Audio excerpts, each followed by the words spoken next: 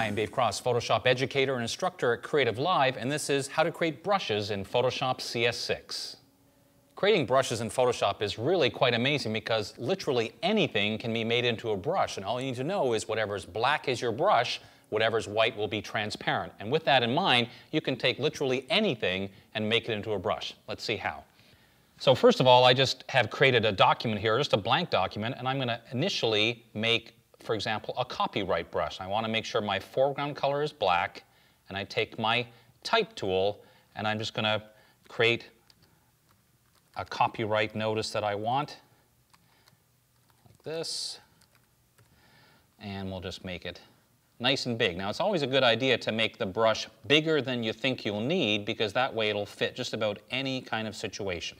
So I'd rather make a brush that's too big than not big enough. So at this point, I have black type on a white background. And that's all I need to do. Then I go to the Edit menu and choose Define Brush Preset. It gives you the opportunity to name your brush if you want, and you click OK. Now once you have that brush, I'll just show you if I take my regular brush tool, now I can go to my brush picker and right down at the bottom is this brush I just created. Now it's ready to be used.